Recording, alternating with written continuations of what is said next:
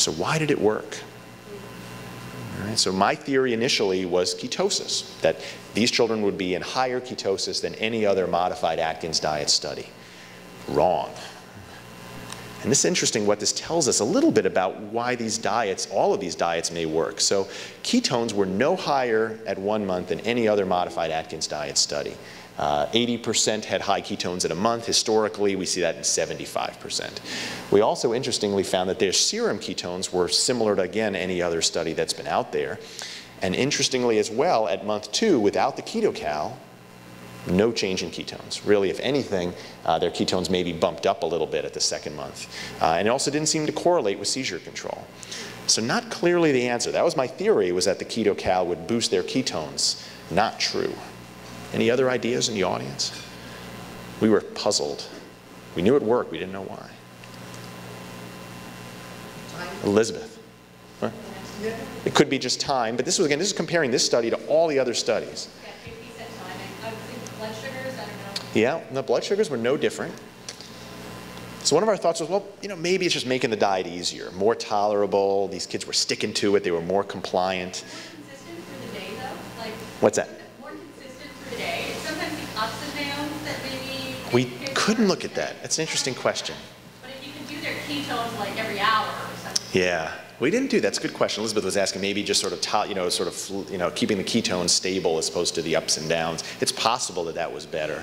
It may have been with the shake. We didn't look at that. To so tolerability we looked at, that also wasn't the answer. Okay, so we looked and said, was there a correlation between how well they liked the diet and how well they liked the keto KetoCal? No. Was there a correlation between how well they liked the KetoCal or the diet and how their seizure control was? No.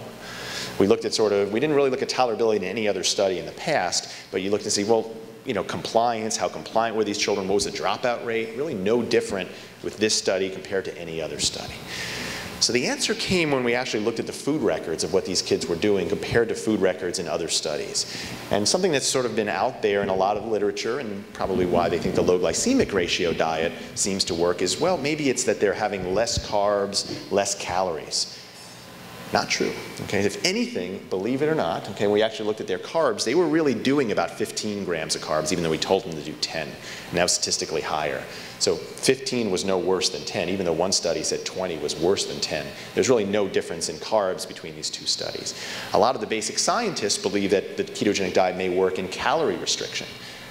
That also was untrue. So these children had uh, 2,200 mean calories per day compared to 1,500 in other Atkins studies. So they were eating almost 50% more calories in this study than they were in the other study. So the answer, fat. So when you look at their fat intake, it was dramatically higher. The highest statistical value was in how much fat they were eating. And KetoCal, that 60 gram shake, is about 40 grams of fat. But the mean increase in their fat was 80 grams. So they were, even though they were having more KetoCal, they still were eating more fat than they were on the modified Atkins diet before. My dietitian thinks this is kind of like an internet effect, that families are maybe getting better at doing the modified Atkins diet and mimicking the ketogenic diet. Their ratio in this study was about a 1.8 to 1. So better than the one-to-one -one we've seen in the modified Atkins diet before. So some very interesting clues from this study, even though that kind of wasn't the main purpose, that at least in my opinion, that probably these diets work by high fat. That sort of giving more fat seems to be what is making them work the best. Some interesting clues. Okay, we're doing great. So in the time remaining, I'm going to get a little bit philosophical, talk about where I think the modified Atkins diet may be going in the next five to 10 years, and some very interesting things that are already starting to uh, unfold. So one thing that has come up is that, well, you know, if this is an easier therapy, a less restrictive therapy, an outpatient initiated therapy, maybe this would be a reasonable first line option. Okay, before trying medications. To tell a family, and I know, there are many families here, I'm going to do the ketogenic diet for your child who just started having epilepsy. In certain situations that you can do that. If they're having very bad seizures, infantile spasms, as Elizabeth mentioned, right from the get-go, they'll buy in. But if you're having one, two seizures a week, most of them aren't interested. They'll want to try medicine. I'm not sure that's inappropriate. But in some situations maybe where they'd say, well, could we try this Atkins diet? It does not mean coming into the hospital. This might be a reasonable first-line therapy. People are starting to talk about that.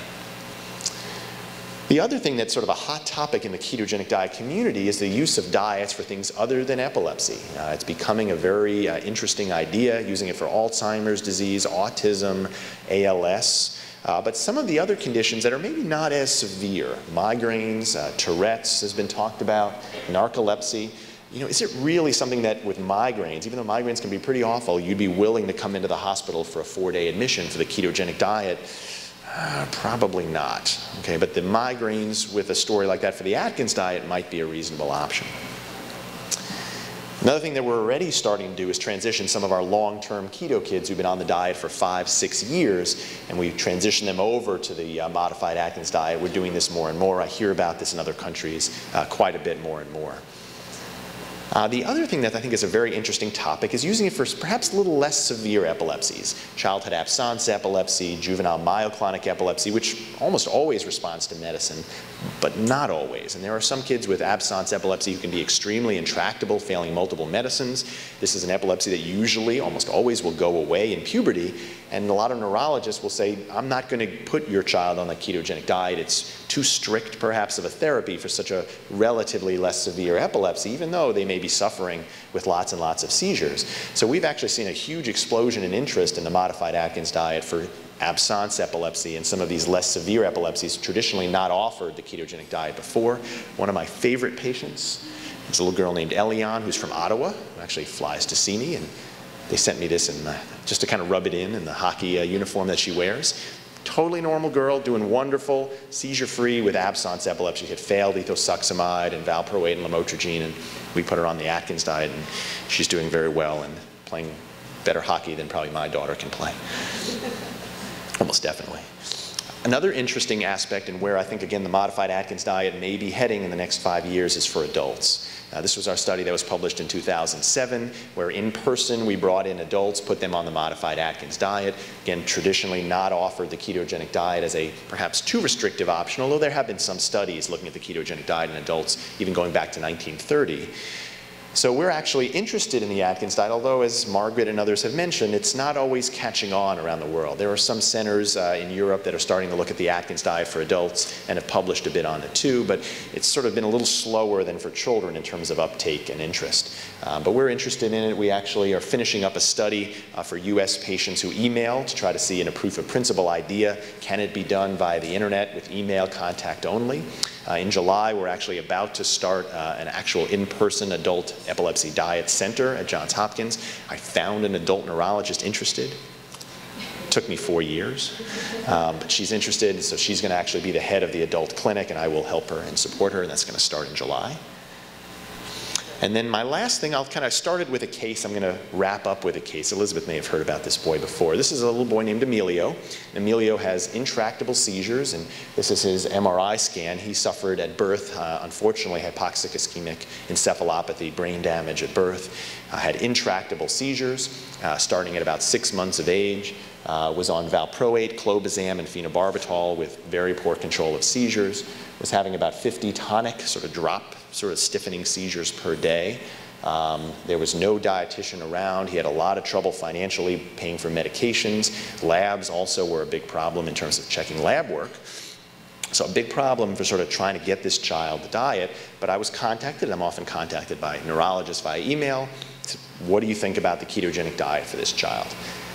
Makes sense. It seems like a reasonable situation in which you try the ketogenic diet. And he says, well, Eric, I've got no dietitian. They can't pay for labs. And he lives in rural Honduras. And this was actually a neurologist who's a missionary also and goes down to Honduras. And I said, oh my God, how, I don't know how you could do the ketogenic diet for this family. He said, well, what about the Atkins diet?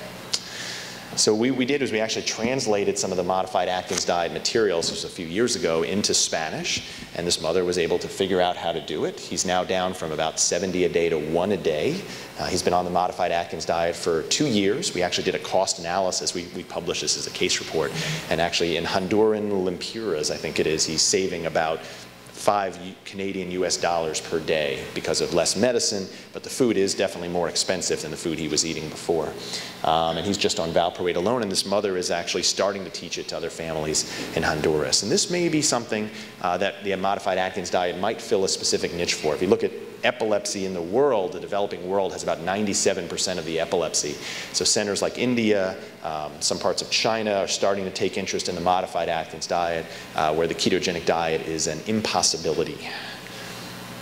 And to wrap up, finished.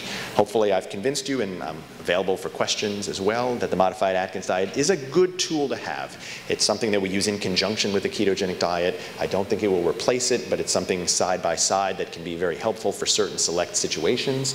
Uh, very good data that that first month matters and giving perhaps KetoCal in the first month is now what we're recommending. It seems to, again, boost the efficacy, uh, probably, again, due to the high fat content of it. Uh, ideal populations are really, I think, where we're heading in the next five years. Adults, perhaps developing countries, maybe first-line use as well, uh, and maybe as well some non-epilepsy uses uh, may be interesting and perhaps useful for the modified Atkins diet. I think we need to do give credit where credit is due, and again, Nutricia helped pay for that modified Atkins KetoCal study, and I thank them. Uh, there's uh, Susie and Anita, uh, Raylene Butler from England, who is a real big part of uh, designing the study as well, and uh, Steve Yaniselli. Uh, and then our ketogenic diet team as well as similar to Elizabeth, we are a team. Uh, as I often say when I'm lecturing, they're the ones doing the work while I'm off traveling, especially my dietitian. So I highlight them. And Jennifer Dorward, who I have in bold, is actually our modified Atkins dietitian, uh, who's uh, largely responsible for a lot of the work you've seen here today. If you're really interested, and you'll probably hear more about this today in the ketogenic and modified Atkins diet, come to Edinburgh in October. So we had our first international ketogenic diet seminar conference in Phoenix, Arizona uh, two years ago, and then this is now going to be the second one uh, this October in Edinburgh. And there's sort of a nice picture, as you can see here behind, of the castle that you can tour. Thank you.